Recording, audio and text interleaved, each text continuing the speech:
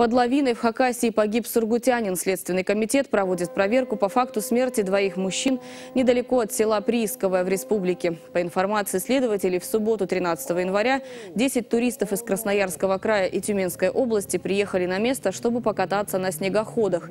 Как отмечает Юграньюз, услугами турфирм они при этом не пользовались. В результате схода лавины под снегом оказались несколько человек. Пятеро выбрались самостоятельно, тела еще двоих обнаружили спасатели. Погибшие были жителями Красноярска и Сургута. Сейчас идет установление всех обстоятельств произошедшего.